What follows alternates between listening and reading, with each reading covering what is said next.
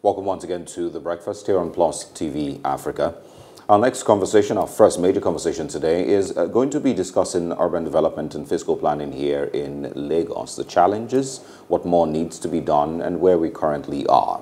We've uh, been joined this morning in the studio uh, by a former commissioner for physical planning and urban development here in Lagos. He's uh, now the national president, Nigerian Institute of Town uh, Planners. Good morning to Mr. Oluto Olutoyin Ayinde. Good morning. Good morning. Good morning, viewers. All right, so it's um, it's a conversation that a lot of people don't, you know, always have because we have a maybe skewed understanding concerning urban development and what physical planning really should be in a state. So let's start with understanding, you know, from your time, you know, as a commissioner and uh, where you currently are, what is urban development? What is physical planning, you know, with regards to Lagos state? Okay, I, I think it would be good for us to to put it in the right sequence. It should be planning before development, and that's why in Lagos State it's called the Ministry of Physical Planning and Urban right. Development because you plan first before you develop. And what is planning really about when we talk about physical planning is, is about putting order into the land uses within a human settlement system. So when you say it's human settlement, it can start from a village to a city to a state to a nation. So um, we are meant to first plan before we develop. The plan is actually the blueprint, and that's what you follow eventually. Now, this sequence between planning and development is, is akin to the sequence between thinking and speaking. You, you will understand yes. that as a media person. You think first before you speak. You don't speak and then try to think about what you spoke. So you think before you speak. And, and it's so important that the good book says that. Do you see a man who speaks without thinking? He says there's more hope for a fool than for him. So it's, it's, it's like saying, do, do you see somebody who develops without planning? There's also more hope for a fool than for that person because every development that comes without planning for it usually ends in chaos. So when you come to Lagos, you find that Lagos, uh, by, by, the way, I, have been doing a, a, nationwide tour as national president of the Nigerian Institute of Town Planners to assess the state of physical planning in Nigeria. And uh, of 17 states that I've visited, Lagos still stands far ahead of others because it's, it's, the, it's a state that has produced the highest number of physical development plans. There were those that were initiated before I became uh, commissioner in 2011. I served 2011 to 2015, which were completed during my tenure. There were those that were started during my tenure and completed. Uh, there are those that were also started and other, uh, other uh, administrations have come to, to complete. And, and right now, the state is still, still doing more. But let me say that the, the challenge Lagos State is having is that of um, the explosive population, you, you, know, which tends to even uh, test those plans that it has because uh, there are people who come into Lagos almost every minute, you know, and uh, it says about 100 coming every minute, and more than 80% don't go back. You know, so, and that's probably why people are asking for a special status for Lagos, because it requires funding to prepare plans. It requires funding to implement plans. In fact, if you prepare plans and you do not implement them, you are, you are probably on the same level as the person who didn't we didn't prepare any at all. So that, that's, the, that's the position. Then again, when these plans are prepared, you know, there are, there are what you call details. So some plans are global. They need to be brought down to the level of the details. This is a studio. This is a detailed design of the studio. If somebody just took out this room alone and brought the details out and showed someone outside that, oh, this is the this is the detail of a studio. The person will ask, where, okay, where is this studio located? Then he will want to say, oh, it's in one building on 13A. uh, Kayode Abraham, and then somebody wants to say, where is Kayode Abraham?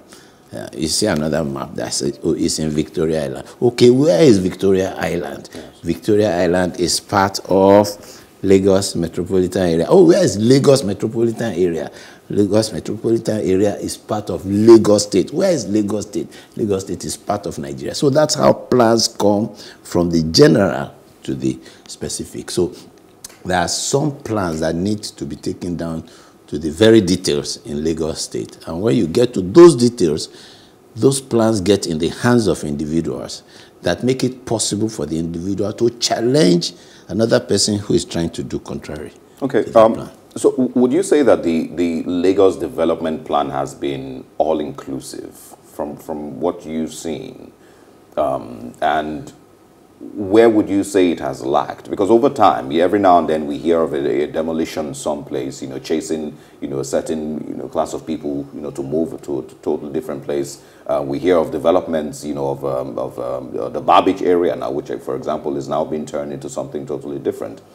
Um, so are these all initial, you know, plans of what Lagos should have been like, or are these knee-jerk, um, you know, changes? No, let, let, let's not forget that as far back as 1980, there was a there was a Lagos State regional plan, and then a Lagos State, a Lagos Metropolitan Master Plan, and uh, these plans already uh, highlighted in, in, in general terms what should be happening in each area of Lagos. So when you see clusters of, uh, of informal settlements or what look like ungoverned spaces, those are not things that were part of the plans.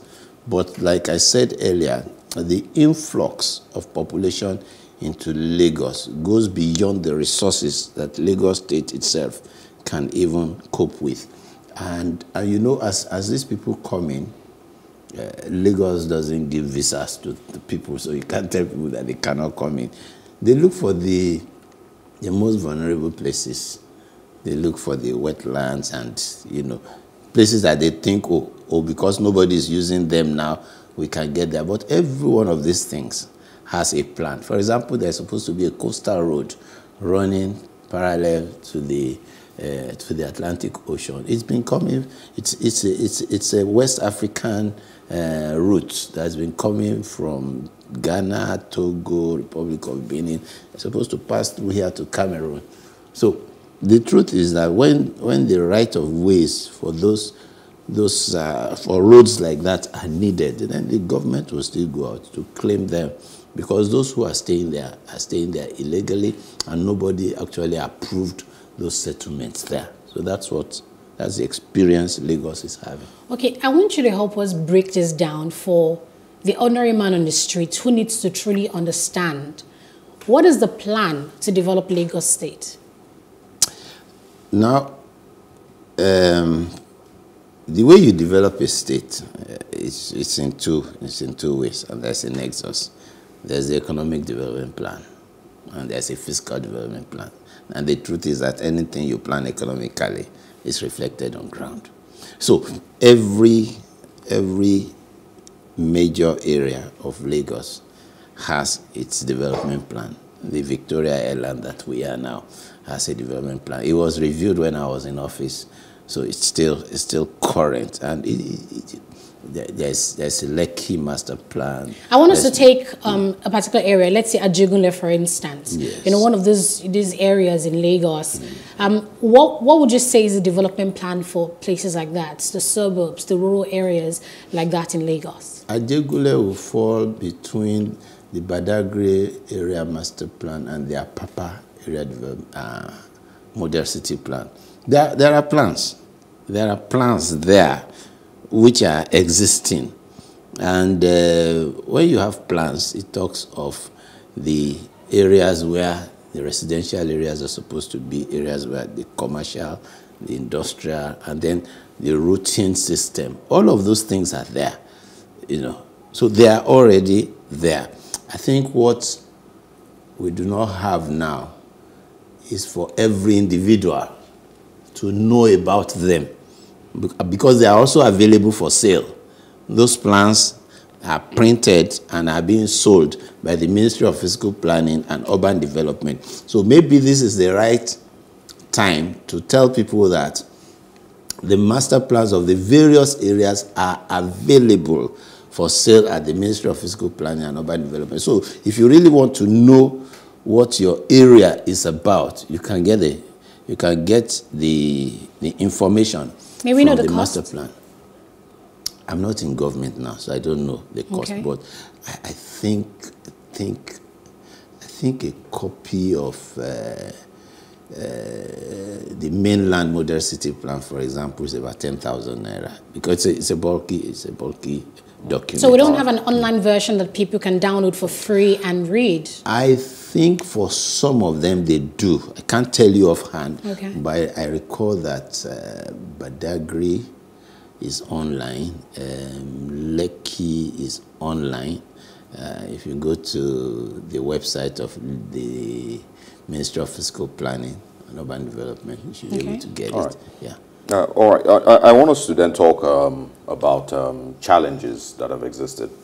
Um, and um, one of them, of course, for a lot of uh, Lagos, Lagosians has uh, been uh, flooding, drainages, you know, and, and uh, the inadequacy of those drainage systems to sort out flooding. Um, I remember someone mentioned, uh, you know, that every now and then flash floods happen, and so, you know, people just have to, you know, understand that that's, you know, a possibility and, you know, deal with it.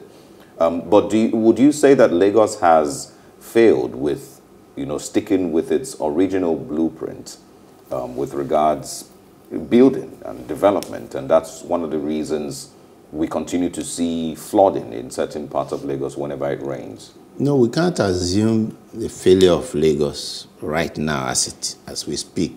Uh, first is that you should realize the the, the changes we're experiencing globally Yes. in terms of climate change. So the oceans are rising, the sea levels are rising. Uh, this just adds more to what is happening in Lagos State. Lagos is a littoral is a littoral state. It's low lying, uh, and therefore re- requires some some care. And then it it also requires that our, our channels are kept clean most of the time, uh, and also that that people do not encroach. So what we have seen over time is that it's those areas close to the waterways, the wetlands, that many of those who, who come in as, as quarters, that's where they settle. And we have seen people who are building within the right of ways of channels. And um, let me also say that I'm aware that um, the Ministry of Environment and Natural Resources is also making efforts to, to clear those things. But um, we should understand that if we're able to keep, you see, there, there are natural drainage facilities. There are the lagoon, the rivers, the streams. When we maintain the right level of development, because what has often happened is that people do not understand that there's a technique to development. You know, everybody thinks they know about construction, but there, there are invert levels for drainages. So when, when, when there's a drainage here and there's a road here, the, the technique is that your development must always be higher than your road system so that your development can drain. But we have seen on many occasions where people build lower than the road system. So their, their site can never drain into the, the, the drainage system. And we, we also find cases where, where the drains are made after development has come, you know, and uh, it makes, it makes the, the structures there lower. So those are things that we find, and there are challenges that I believe can be, can, can, can be overcome. So we know that you know there's been a huge influx of people into Lagos in the past few years, and as the population of Lagos keep rising, what do you think the effect would be on the physical planning of the state and development? we must begin to change our concept of development. Um, I was with the governor last week, and I was saying that, and I've said this generally in Nigeria. The, we have a fixed land resource, but our population is increasing, and that's not about Lagos alone. In 1971, my teacher taught me in my first year in secondary school that the territory Nigeria was occupied by 56 million people. Then we still had Bakassi. Now we don't have Bakassi. Means that we have less land. Now we don't have Lake Chad. Means that we have less resource. Now desertification has crept in. So we still have less land. But what do the UN projections say of our population now? 211 million plus. In a few years' time, this population, because we are not controlling our population, and because every one of us wants to reproduce and see our children's children, this population will become 300, will become 400, and on a fixed resource. So it will be like putting a piece of bone before a dog. When it's one piece of bone to a dog, there will be no problem. If you put the same piece of bone between two dogs, there will be a barking and a snarling. If you put that same piece of bone in the midst of 50 dogs, it will not be barking, it will not be snarling, it will be war yeah. because they will fight. So if you translate that into our fixed land resource and our increasing population, you should be able to rationalize what the cause is for intercommunal clashes that we have now. You notice that some communities had lived for centuries together with no fight, but now they fight. There is there's an intercommunal clash between a community in Kogi and Anambra. There, there is one between some communities in, uh, in Kwara State, Ebonyi, yeah. yeah. Or everywhere. And all they are clashing on is on land, not on anything else. So there is, in, in developed countries, in, people, in places that make progress, they don't allocate land to individuals for development. So you don't get to see someone in UK going to the market to go and buy cement, to go and buy iron rods. Why? Because he wants to provide his own house. Planning truly answers to governance. It answers to good governance.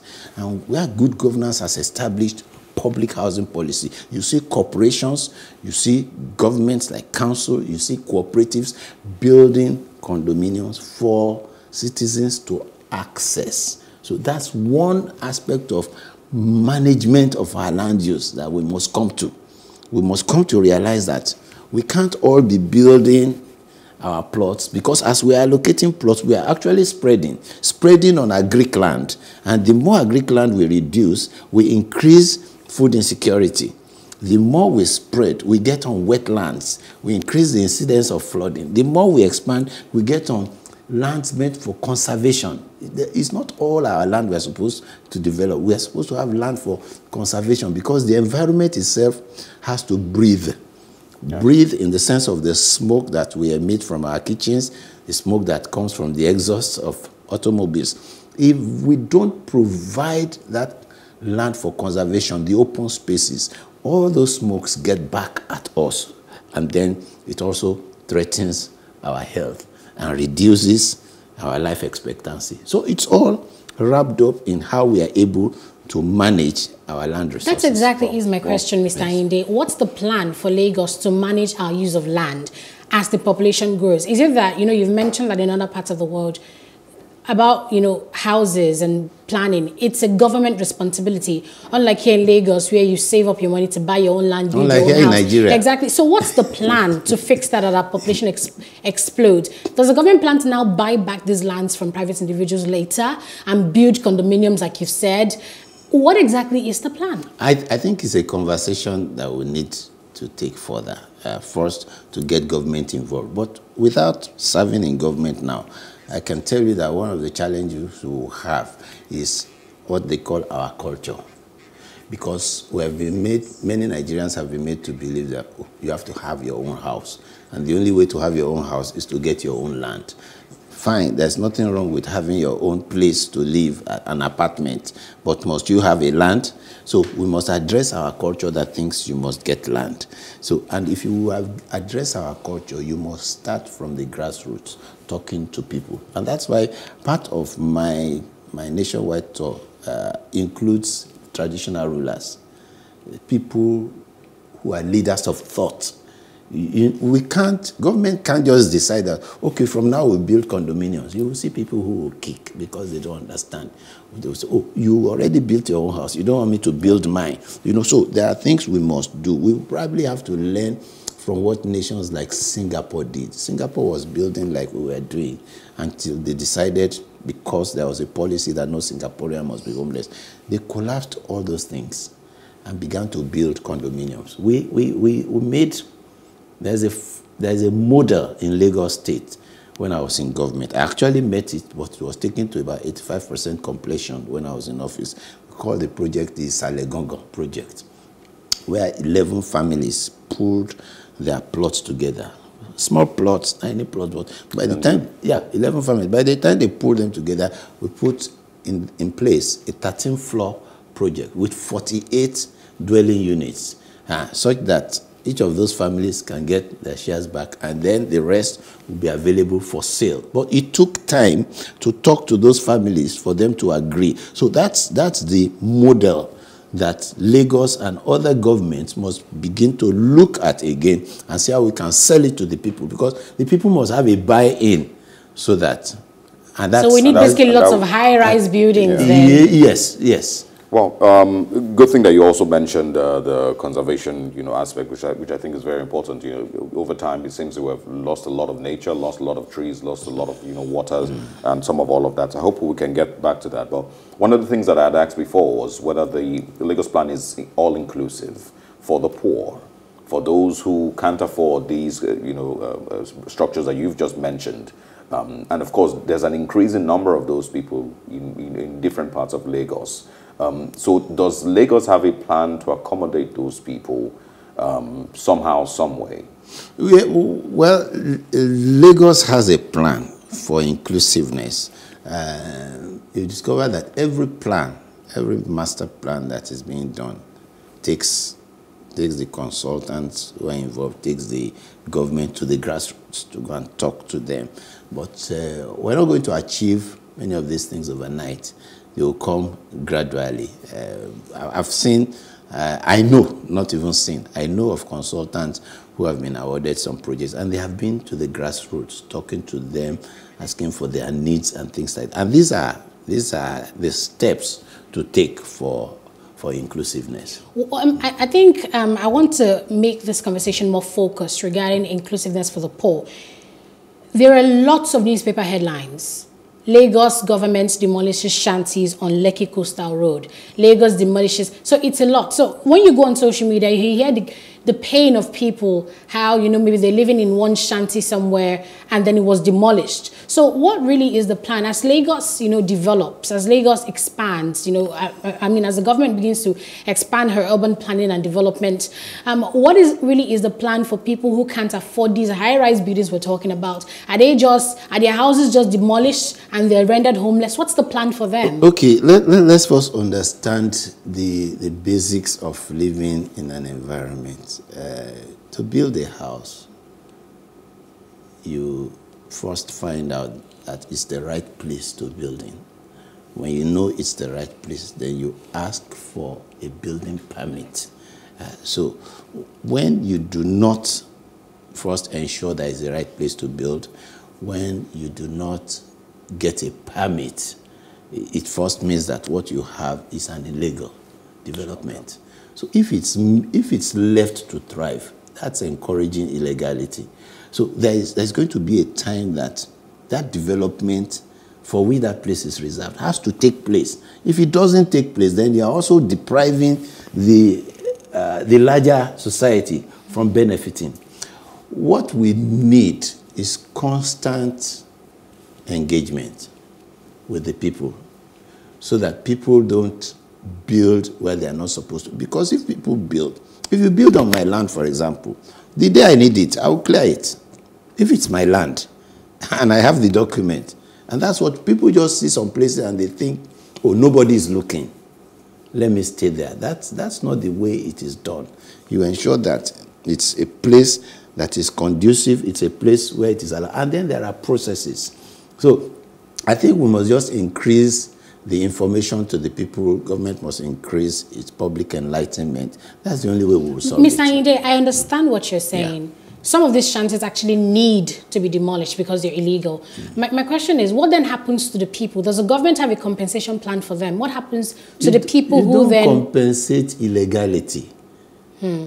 Because if you compensate illegality, then the person can also go somewhere else. The person you tell that this is not the right place to build can actually go to another place that is not the right so place. So they're rendered homeless and nowhere no, to you, go? No, you are, you, are, you are looking at it only from one side. No, I, I see I both think, sides. I think, no, I think But does the government have a plan for the people whose houses then get demolished what, because What usually happens, yes. let, let, let me say this. Okay.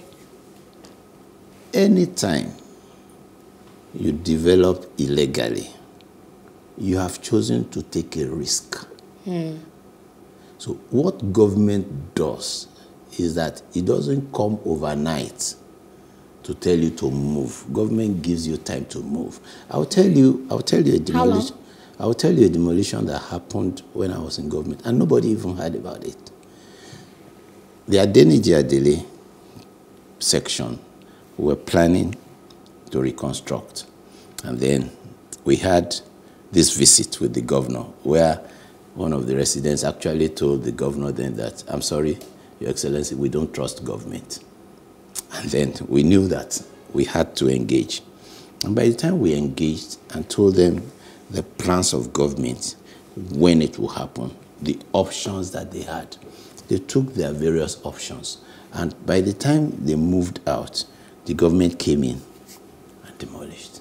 So for every for every settlement that is illegal, government gives notices. How long? There are, there, are, there are various kinds of notices. There are seven days notice. Wow. Yeah.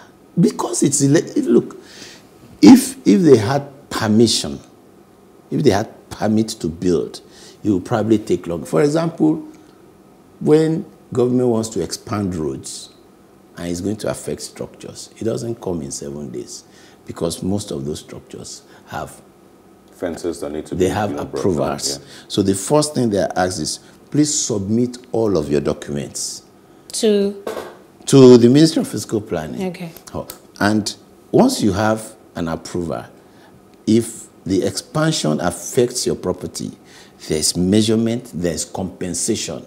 Why? Because there is a, a, uh, an approval to build.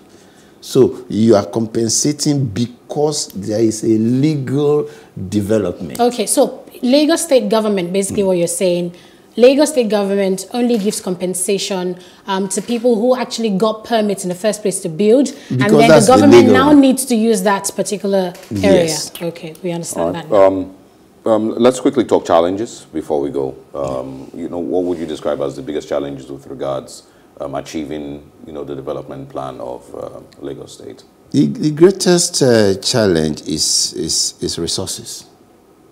It's resources. And um, I saw uh, while you were having your uh, newspaper review. Yes. I saw the issue on VAT, and I was saying to myself, I wish Lagos State can be getting all of its VAT. Well, they have they know? have an so, opportunity now. So, so, be, so because because development requires funding. Preparation of plans requires funding. And that's what Lagos needs. And you know that Lagos is attracting a population more than it can take cater for. So that's the greatest challenge. It's, it's not, uh, I recollect when we were in government, uh, Governor Fashola used to say that this is not the best time to be in government. When I look at the people now, I, I have sympathy for them. I think we were in a better time then. Hmm. Because now... It's getting worse, basically. We were looking at about 17 million population. They are looking at over 22 million population. Yes. And the resources are not increasing. The resources are less, and we have more population. So it's the greatest challenge that Lagos State has now. Mm. And you can see with the number of cars on the road, the traffic, um, it's, it's so much. Um, I, I also want to talk about where you foresee Lagos in another 10 years? Because I believe that these are part of the plans. These plans have, you know, 10 year, 15 year. Um, Timelines. Yeah, yeah, uh, yeah, yeah. 20 years. The minimum is yeah. 20 years. All things being equal, we should have a better Lagos than now. Um, the blue line is there. It hasn't been completed. I'm sure within the next 10 years that will have been completed, and then it can take can take traffic, can take commuters from the Badagry axis uh, to Marina seamlessly. We are hoping that the red line will have, will have taken off. We are hoping that there will have been uh, a ramp up on the water transportation system. So, and um, if we also consider the trend now, you know, quite a number of offices now uh, are working from home. Yes. It keeps less people on the road. So we're likely to have a more free flowing traffic and um, once public transportation has improved, there will be less need for individuals to put their own vehicles on the road. And we're believing, I know that when we were in government, we were trying to mop up all the mini buses because there are quite a number of them. And when you have um, larger buses that contain more passengers, and then you have the the rail lines working, they will, will have freer routes. Oh. So Thank it you. obviously there's a lot of work uh, that needs to be done, and this also includes security because I've also seen uh, people, you know, create the advantages of a better public transportation system and how it reduces the number of cars on the road and reduces the stress that it also um, causes on the road. But thank you very much. Thank you very much, Mr. Olutoyin Ayinde, You're the National President of the Nigerian Institute of Town Planners and the former Commissioner of the Physical and Planning and Urban Development in Lagos State. Um, thank you very much for for coming time. again. Thank you for the privilege. So, up next on the breakfast, we're talking about gas flaring and its implications on the Nigerian economy. Um, do stay with us.